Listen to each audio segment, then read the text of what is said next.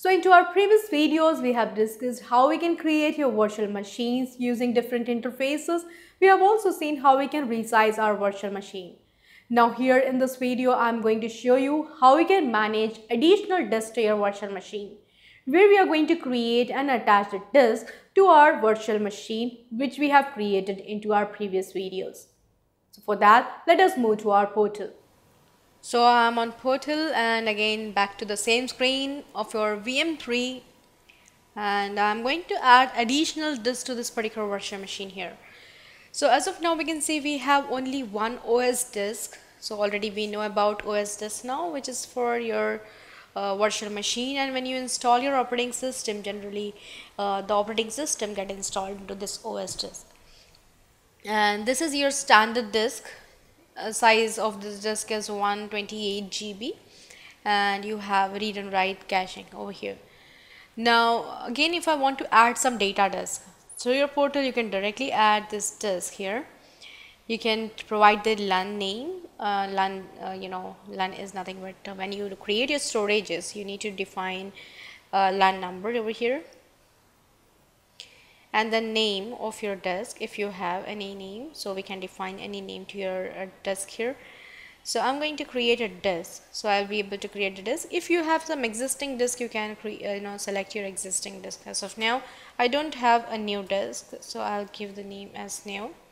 So you can see it is showing you there are no disk available right? So you need to create a disk for creating the disk you have an option here.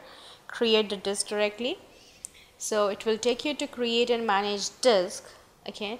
So this is the portal where generally you can create your disk here. So for example i'm going to create a disk one. Existing rg1 account type is your standard. Okay premium is not available to us as of now as we are running in free version.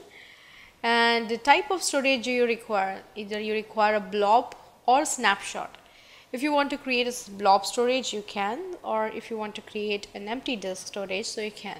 So right now I'm using an empty disk storage and the space of your disk I require is very minimum space I require for storing data just for demonstration purpose I'm going to use. So I'll be using 80 GB that's enough for me and create this disk once this disk is created uh, you will be able to find this disk into your disk available into your system and then you can connect this disk to your machine. So um, we need to wait till it's getting created and you know validated and then created. And once it is there once it is created you will be able to find this disk into the list of your virtual machine disk so you can add this disk directly to your machine so uh, we'll wait for a while. And now you can see here it is connected. So we got this disk 1 you can select this disk. The size of the disk is 80 GB this is standard LRS encryption is not enabled the caching we can define as read and write. And once it is there if you want to connect it you can uh, by default connect or if you want to detach it so you can detach it so this is how generally we have seen how we can create a disk and how we can attach it into your system. Again, I want to attach the same. I'll define the name of the disk, disk 1. Done. Right? And we need to just save the same. So it, uh, it will automatically update your virtual machine disk and you will find an additional data disk over here. It is connected we'll move back to your virtual machine we'll move back into your VM once it is updated we'll get the information that is connected to your disk data 1 you can see you got the notification successfully updated virtual machine disk. And disk is added. Same way if I want to add this disk and uh, I'm going to edit it first of all wait a while. I'll disconnect it so it is detached and save this. If I want to delete this disk you need to go into your resource group rg3 you find disk 1 available over here this one. Okay I want to delete this move into it. So here whenever you want to delete any of your resource first move into it and then delete the same. Right so uh, let us you know wait a while. It is detaching so hence we are not able to you know delete this disk so delete is not available to us. Once it is updated we'll be able to delete this particular disk. So you can see it is done. I'll just refresh it out and uh, we will be able to delete this disk now. So you can see you can delete it from here. So it is deleting. Same way if I want to create the same disk uh, like disk 1 or disk 2 we can name it as through your uh, PowerShell or your AZ we can do that. So just I'll take an example. I'll, I'll just run this PowerShell from here.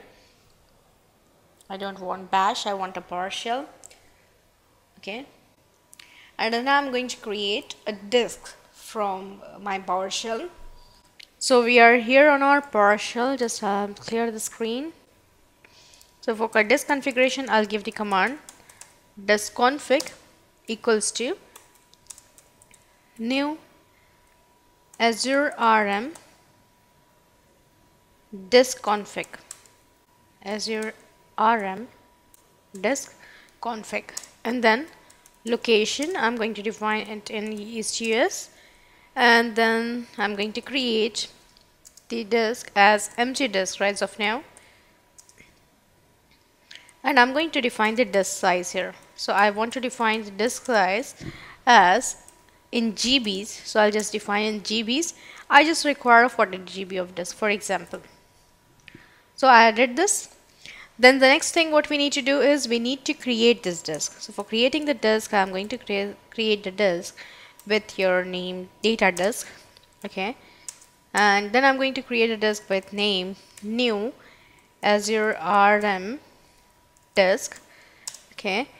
With your into your resource group name rg3 and I'm going to define the disk name as disk2 and uh, this disk2 I'll be creating using my disk2 configuration. Okay so I'm going to define disk config. So it will add all the particular descriptions of this disk into this dd variable and the disk will be created. So let us even check over here. Into your rg3 we'll get the disk. This is your rg3 we should get the disk with name disk2 so we found this disk. Now this disk is not connected to any of your machines. So now I'm going to find out the machine for this particular disk. I'm going to define the variable VM equals to get azure rm VM okay hyphen resource group name we are going to define that is rg3 where our disk is located as well as our virtual machines are located.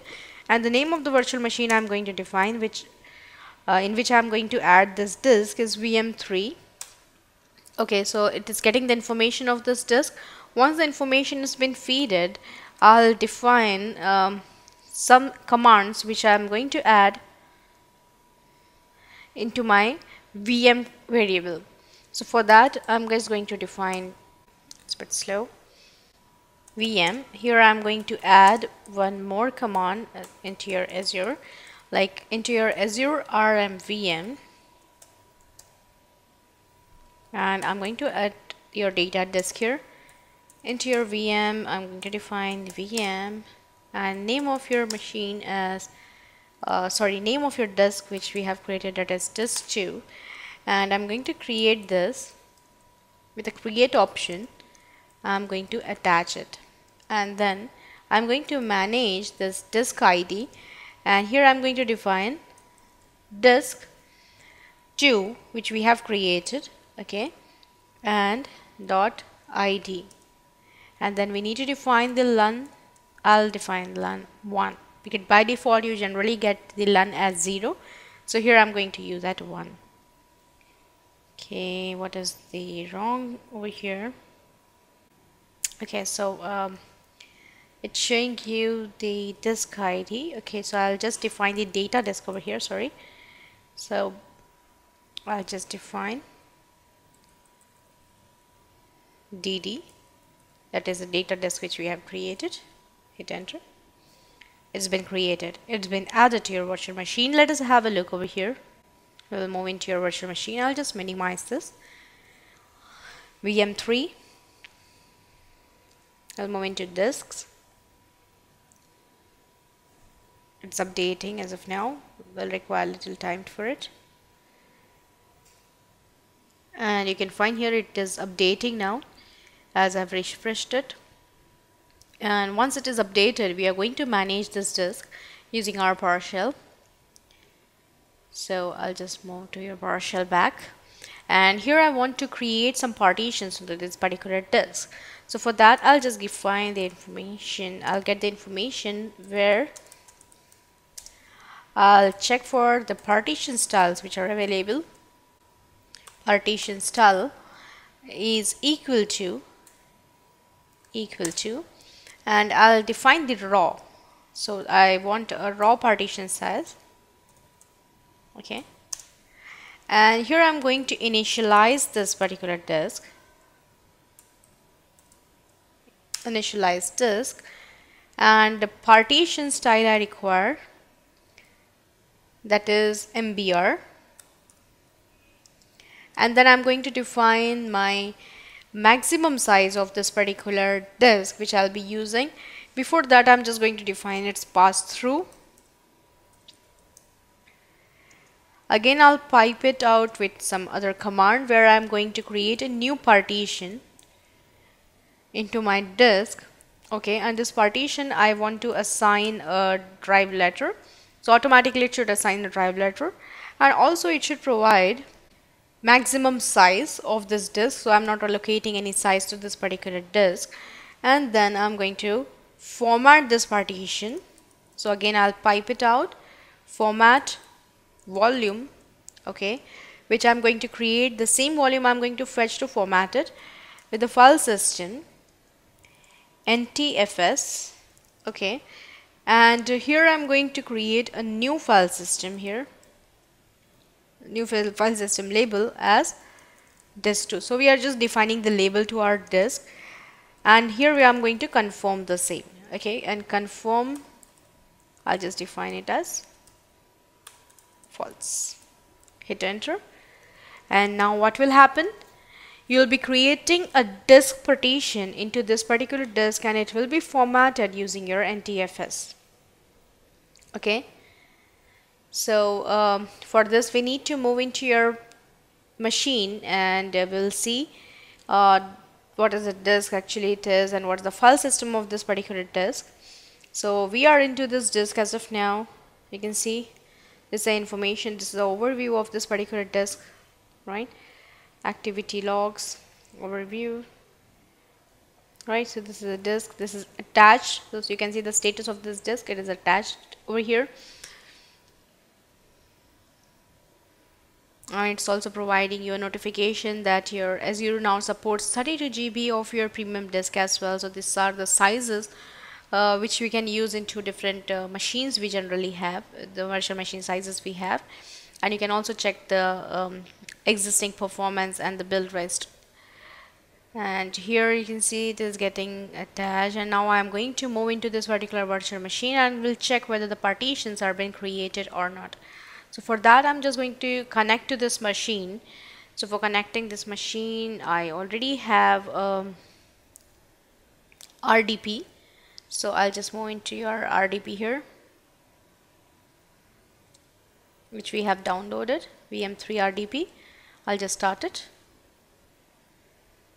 Okay I'll connect it. I'll define the password for this machine here. Once we have done with it you are connected. Now I'll go and check for the partitions generally we have into our disk chip so our machine is started and now we will move into your disk management or we can even directly use. So there are different options of accessing it. PC right click over here and go for manage. And here into manage you generally get this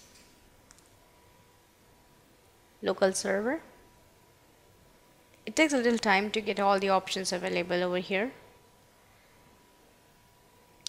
Or you can directly access it through your command prompt like disk management.msc go into it.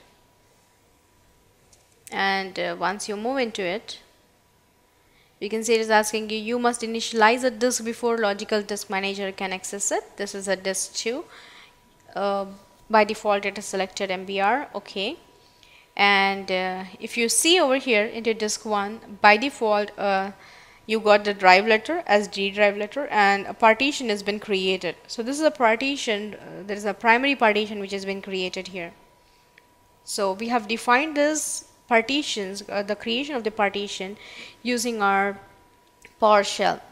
Same way we can also manage our servers and our local servers, our file storages from here as well into this. So we can see uh, the volumes which we have and it's loading right now. So as we have not shown you graphically because it takes little time, you can see this is the volume which we have created. Same way the disks which we have added into this particular system, right? so these are things what we have seen like how we can add machines how we can add a system uh, disk drives and how we can use it how we can format it directly using the PowerShell without moving into your system so into our next video I'm going to show you how we can attach the storages, how we can use these storages, the external storages to your system and how we can create the account of your storage.